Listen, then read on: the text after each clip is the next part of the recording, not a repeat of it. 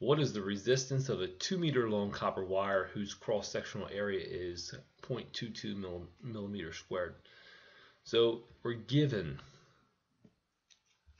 a problem to solve for resistance. So we'll pull our friend out of our hat, our equation, and we're going to solve this for resistance. It's already been manipulated. So actually I'll just paste it again and we can solve by subbing in numbers. Let's do this together. What is the resistance of copper? It depends on the resistivity of copper. If we go, how do we find the resistivity? Oh, it's not the problem.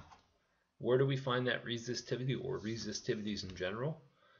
This information is tabulated in this data table and copper has a resistivity of 1.688 times 10 to the negative 8 ohm meters.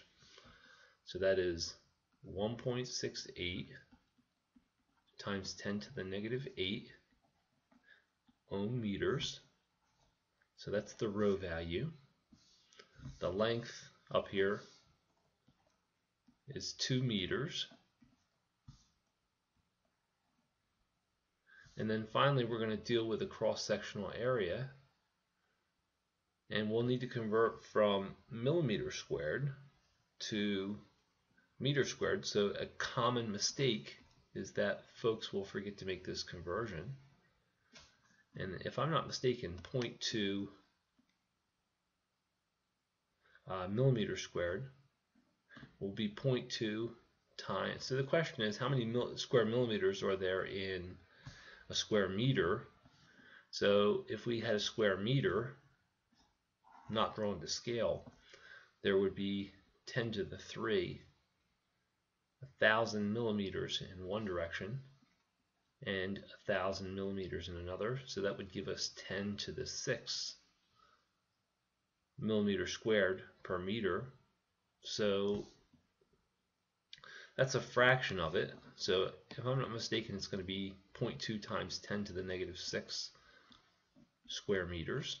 Let's reveal our answer just to double check.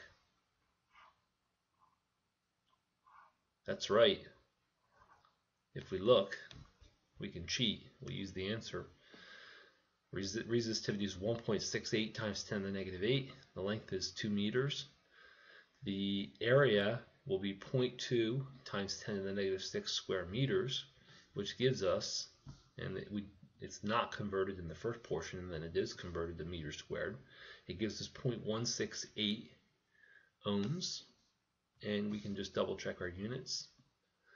Meters times meters.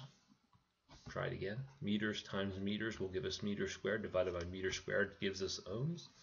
And we are good to go.